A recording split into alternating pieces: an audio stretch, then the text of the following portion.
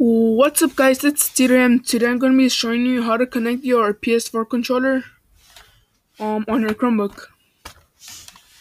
So, first what you're going to want to do is get your PS4 controller and press the PS button and the share button and click it until there's some flash coming from here. So I'll just do that now. It's the PS button with the share button. You're going to want to click that till it starts flashing. And now it's flashing. And then on your Chromebook, you're gonna want to go to settings, then go to Bluetooth, have it on, and it's scanning for, and then it's gonna say wireless controller. You can't see it that well, but on Bluetooth, when you go to settings, it's gonna say wireless controller. Then it says connecting to wireless controller.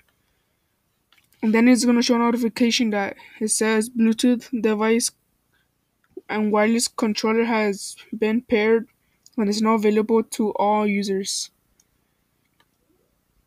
And you could go to the Chrome Web Store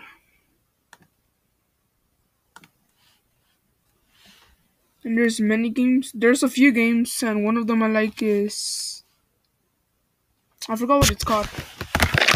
Let me check it out. I have it on this Chromebook. It's called Cracking Sands. Cracking Sands.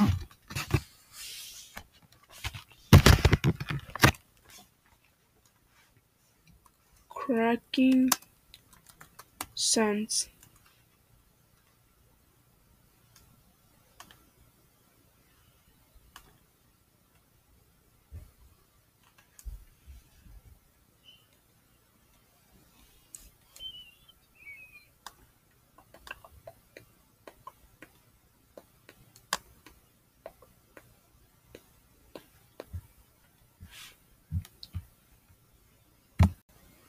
And it finally downloaded and you could actually play games such as cracking sands on your chromebook device.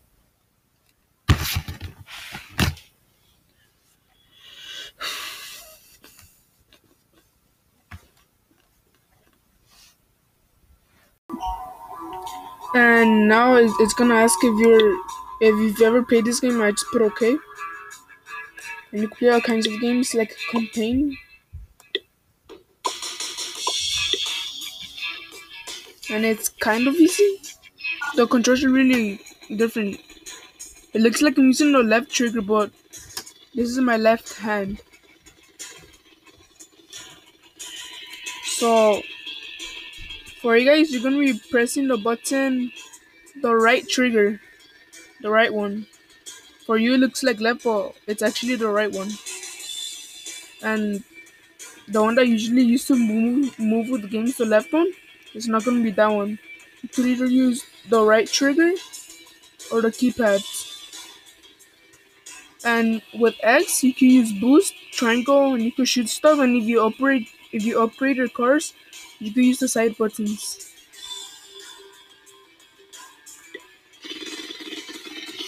Let's see if you just do a gameplay.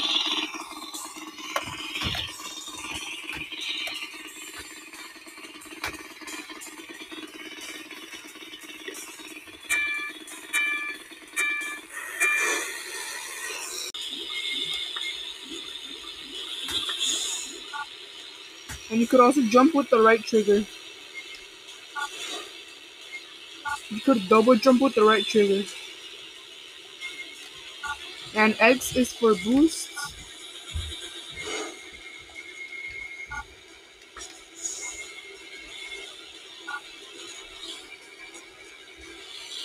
So you can move the left keypad and the right one.